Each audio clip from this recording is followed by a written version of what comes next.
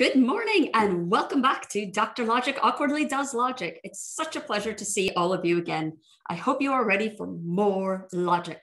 Today, I want to talk to you about necessity and possibility, one of my favorite topics in the entire span of what you can do with logic. Now, consider the following sentences. One, not all cats are black. Two, two is even.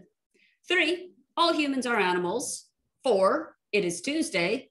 And five, three plus three equals seven. Now think about which of these sentences are true and which of them is false. So the first one, not all cats are black. That's true. I happen to have a very nice calico whom you've probably seen in previous videos. Two is even. This is also true. It's kind of a basic fact of arithmetic. All humans are animals. Well, if you take kind of the Aristotelian classification of animal, mammal, etc., then yes, this is also true.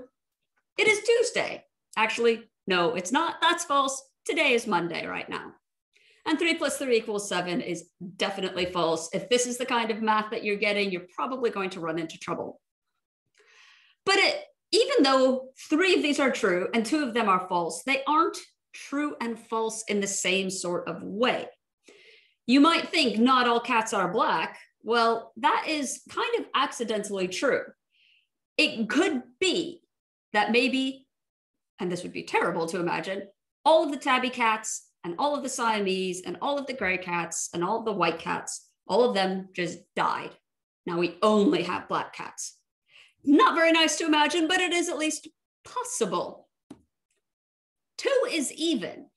Can we imagine a possibility where that isn't the case? Now, I want you to set aside things like oh, well, if we change what two refers to or change the meaning of even. No, we're going to keep language the same and ask, could the situation described by two as even be different?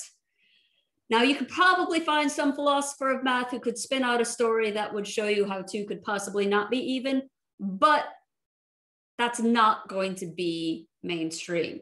Most mathematicians, most philosophers of maths are going to say, actually, yeah, it is impossible that two not to be even. All humans are animals, again, setting aside questions of redefining what human means or what animal means, this one also seems to be, in a sense, more true or more strongly true than not all cats are black. And compare the false ones. The first one, it is Tuesday. Well, I mean, it's not Tuesday right now, but it might be Tuesday when you're watching this. So that is a very clear case of something where it's only kind of merely false or contextually false or contingently false. And then three plus three equals seven, the same sort of arguments that we might give for two plus uh, for two is even being kind of necessarily true would also go for three plus three equals seven being necessarily false. So how can we represent this in logic? That is the fundamental question of necessity and possibility. We can't do it just by looking at the truth values of the individual sentences because we get three true, two false. And without something further, we cannot make a distinction between the ones that are merely true or accidentally false and the things that are necessarily true and the things that are impossible. That is what modal logic is going to do for us. So join me next time for more about modality.